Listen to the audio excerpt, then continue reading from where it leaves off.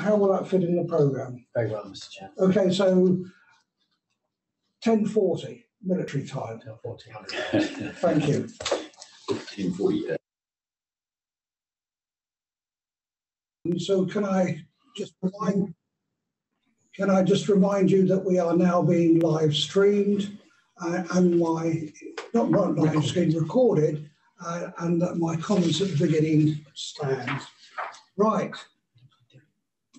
Debbie, over to you. Tēnā koutou katoa. Thank you very much, Debbie Highland, Finance Manager. Um, we're pleased to present our draft annual report for the year ended 30th of June 2021 to the Risk and Assurance Committee uh, for your review.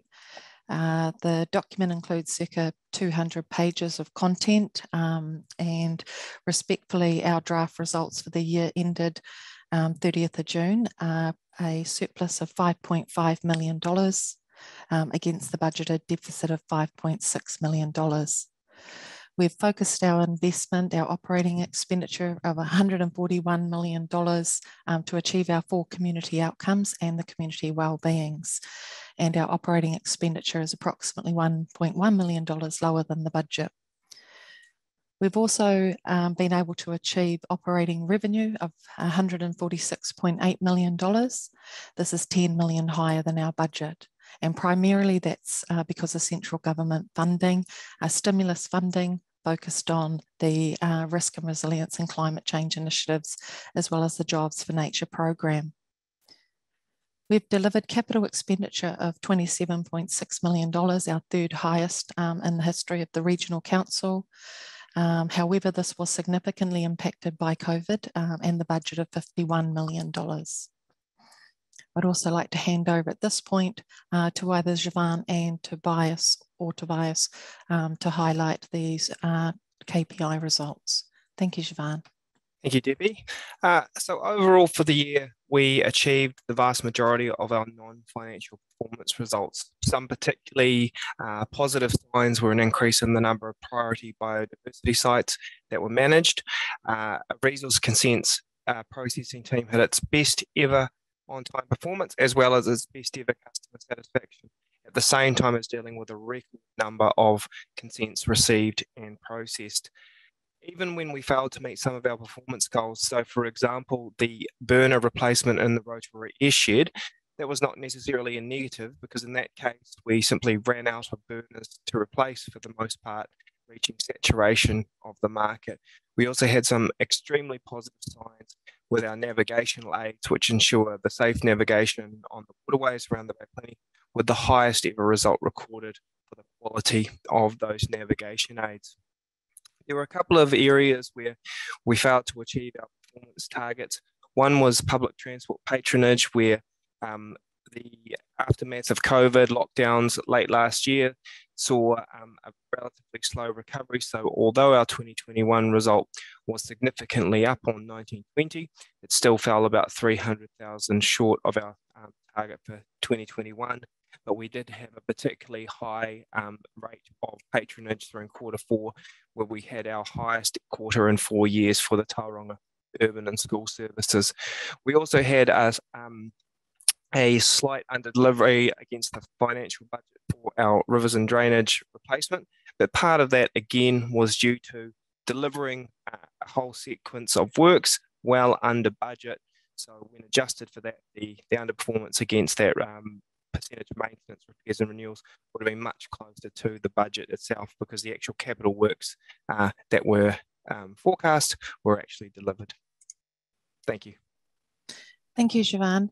Um, in addition to the parent-only results, which for Bay Plenty Regional Council, which I've presented, um, staff have also prepared consolidated accounts, draft consolidated accounts. Uh, the group has, Bay Plenty Regional Council group has uh, recorded a net profit after tax of 131 million, 85 million of that is attributed to council.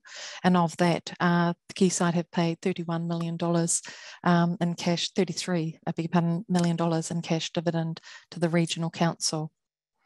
Um, I'd like at this point, uh, the audit is ongoing. Uh, we do uh, hope to adopt the annual report on the 10th of November at the full council meeting. Um, and I have here Audit New Zealand, uh, Leon and Anton uh, to talk through the effectiveness and efficiency of the audit process and any issues that they are seeing uh, arising from that. Thank you.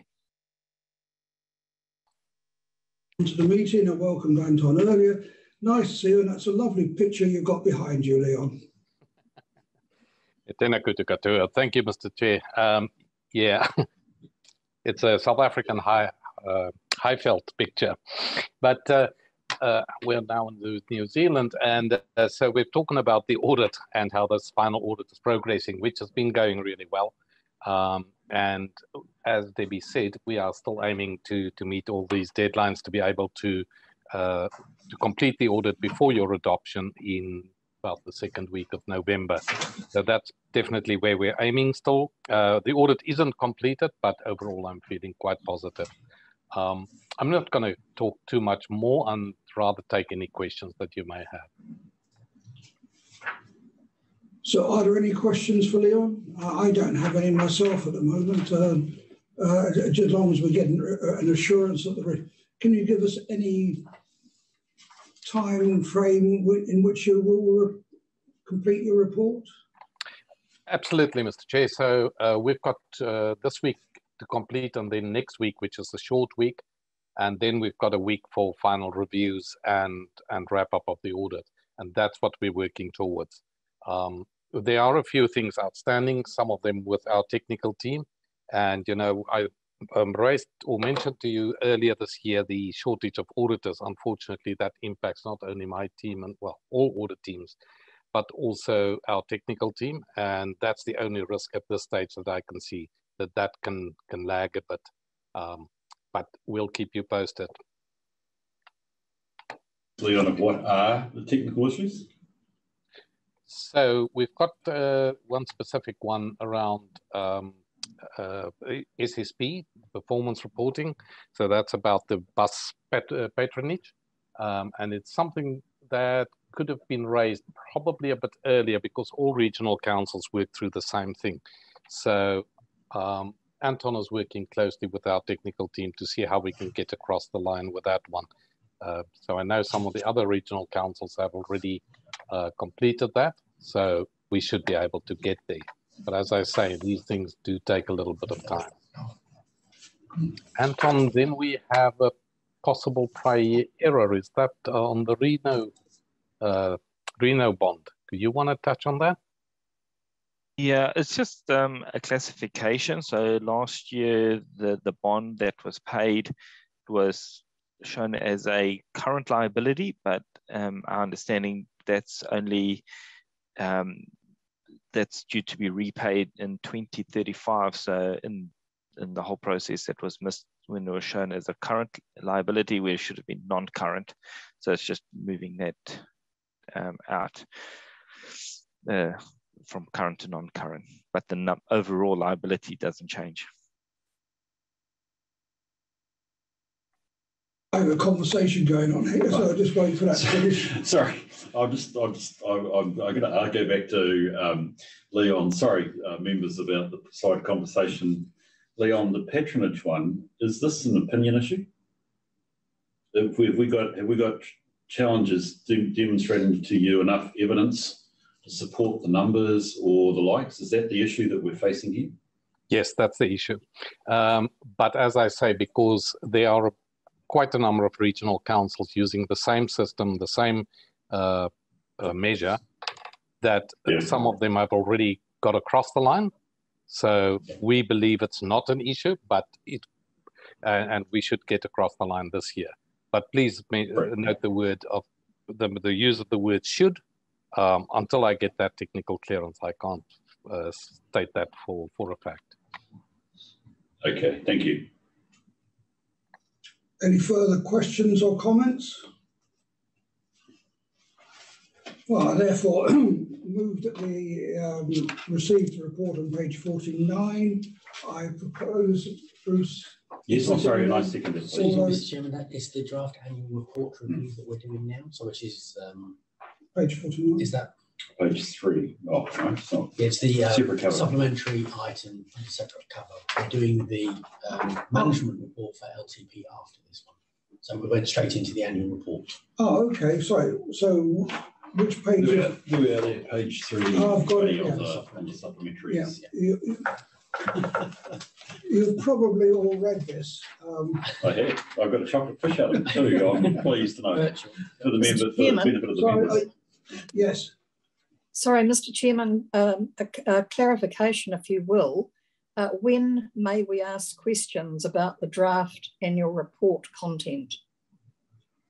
now, Okay, thank you, Mr Chairman. Um, two, two issues, if I could. Um, the FTE count for the council, um, could you just tell me whether I've got my sums right? We appear to have increased by um, over 85 FTEs since last year. Is that correct? could you give us a page you're referring to, Paula? Oh, look, I s- I'm Mm. sorry. I, I, it's, I can't, uh, but it's in the, Debbie, Debbie will know. Thank you very much for the opportunity to provide a response. If it's okay, I'll uh, just pull up the FTE number and then revert back in about a one minute or so. Oh, that look, that's fine if, if um, at any stage. And Debbie, my next question was: Have we recorded the Port of Tauranga directors' fees appropriately? I just see that the Rob McLeod, his direct, I'm taking it that that those are a combination of his quayside and port directors' fees. Has that been recorded appropriately? Um, I would have to say yes, but I, again, I, um, until the audit is um, f- completed, uh, that's got to be verified by Audit New Zealand. Okay, thank you. Thank you, thank you, Mr Chairman. Okay, so. So I now move that we receive that report and that's been seconded already. All those in favour of receipt, raise your hand. Thank you. The draft annual report is received. Right now, moving on to item eight point five, Audit New Zealand Final Management Report on Long-Term Plan. Debbie, Thank you very much. This is a procedural um, matter um, at hand. So uh, Council adopted the long-term plan on the 24th of June, uh, 2021. Um, the long-term plan covered uh, LTP 2021 to 30, 2031. Um, we're really pleased. We obviously received an unmodified audit opinion um, and with the attached um, LTP management letter to close off that process. Um, and we obviously have Audit New Zealand here, um, but overall it was um, a, a really great result. Thank you. questions, comments? Congratulations. To the team, the team, the team have had a really hard time. I, I know Matt's either telling Porkies or he's telling me the team have had a, a really hard time in putting all this together. So, Debbie, take it back to the team. We appreciate the hard work that's been put into all of this. Uh, right, I- I- Namahi. Yeah.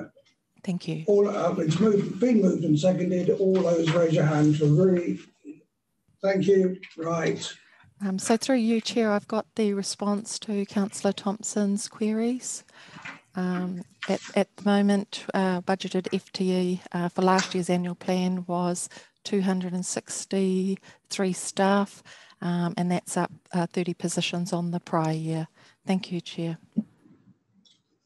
30 positions. Debbie, did 463 up from 434, sorry, and 30. uh, yeah, 30 Yeah. positions. Aroha thank you. Can, can I just make the point that when I'm re- reviewing this outside committee, uh, we always look at the, the total figure of consultants, temporaries, and FTEs together, uh, because that gives a far more meaningful uh, measure of what we're spending in, in, the employment area.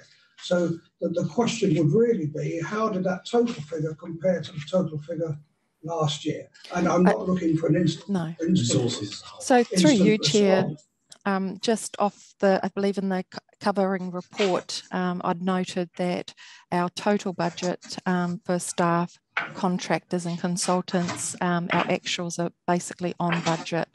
Um, there are some over expenditure last year in terms of staffing, but there was some savings in respect of the work that we outsourced to contractors. Thank you, Chair. Yeah, and that's always been the case, in fact, and that's why we've always got to look at the three things together uh, when we're reviewing that. Right.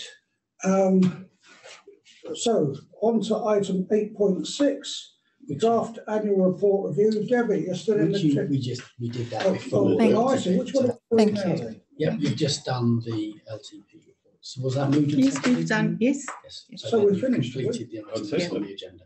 Yes. Oh, well, my, my run sheet is a bit odd. Um, Miranda, it's not your fault, it's mine. Right, okay, everybody. Well, I therefore move that we, oh, first of all, I'd say thank you to Leon and Anton for coming on board. Uh, we know how difficult it has been for you. Uh, all we can say is we look forward for your, your best efforts to make sure we get through on time, but it is what it is. So thank you, everybody. Um, we will be continuing the, the workshop downstairs in, a, in about 10 minutes. So thank you, everybody. That concludes this meeting. So one PM for the workshop. Thank you.